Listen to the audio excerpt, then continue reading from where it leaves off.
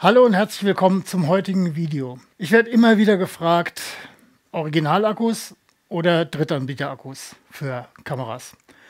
Und ähm, ja, was soll ich sagen? Also vielleicht erwartet man jetzt von mir, dass ich sage, nur Original, nur Original. Nee, ist aber nicht so.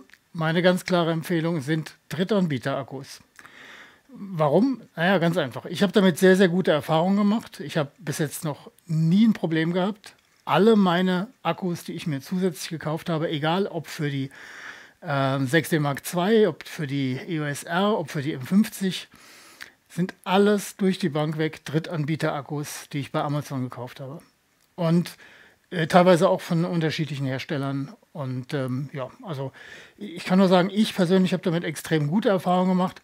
Und selbst wenn ähm, die Akkus möglicherweise nur 80 oder 90 Prozent der Leistung eines Originalakkus äh, bringen oder ähm, leisten können, das ist mir ziemlich egal, weil die Akkus kosten in der Regel ungefähr die Hälfte vom Originalakku, manchmal sogar noch weniger.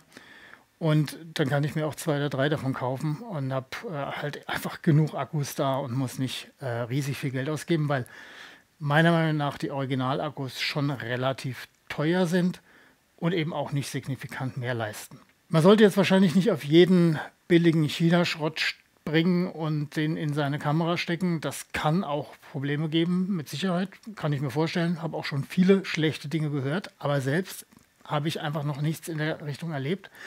Und ich kaufe, wie gesagt, meine Akkus alle bei Amazon.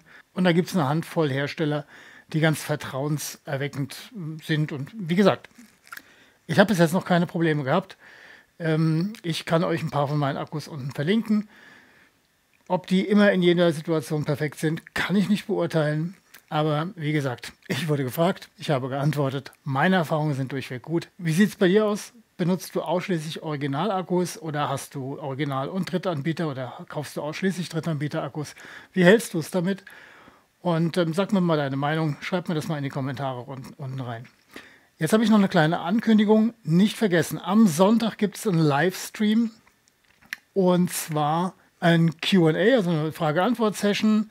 Ähm, da könnt ihr mich alles fragen, was ihr wollt zum Thema Fotografie und weiß der Teufel was. Äh, ich werde alle Fragen beantworten, außer die Fragen, auf die ich keinen Bock habe. Nein, aber ganz im Ernst, ihr wisst, was ich meine. Natürlich kann ich Fragen, die ich nicht beantworten kann oder die ich nicht vernünftig antworten kann, auf die werde ich natürlich auch nicht irgendeinen Humbug antworten. Ähm, ja, aber ansonsten, ihr könnt mir alle Fragen stellen, alles, was euch so zu dem ganzen Themenkomplex interessiert. Und dann wird es noch äh, ein Update und eine wirklich dicke Überraschung zum Thema Online-Video-Kurs Fotografieren lernen kompakt geben. Das solltet ihr euch echt nicht entgehen lassen. Sonntag 19 Uhr Livestream hier auf diesem Kanal. Seid dabei. Wir sehen uns dann. Macht's gut. Ciao.